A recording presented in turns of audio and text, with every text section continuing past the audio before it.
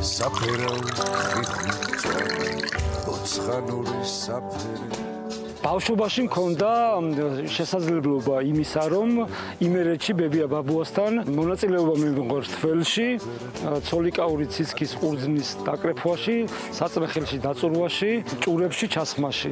ამიტომ ეს პროცესი იყო ჩემთვის ძალზე საინტერესო და სულ მაინტერესებდა, რომ მეტი ცოდნა განათლება მივიღო აი ამ მიმართულებით. ჩემი პროფესია მოიცავს მევენახე მეღვინეობას, რომელიც იწყება ვენახის მოვლა პატრონობიდან, ვენახის გაშენებიდან, სწორი დაგეგმილი აგროტეკ პროცესებიდან, რომელიც გარანტია იმისა, რომ მიიღო მაღალი ხარისხის ღვინო. პროფესია იმდენად საინტერესოა, რამდენადაც ჩართული ხარ 8000 წლოვან ტრადიციულ უცხოეთ კავშირთან, რომელიც ალბათ თითოეულ ქართველში მემკვიდრეობით ზის და თითოეული ქართველი ოცნებებს იმაზე, რომ აი ეს წინაპრების მიერ დატოვებული ტრადიცია გააგრძელოს, გაიტანოს საქართველოს ფარგლებს გარეთ.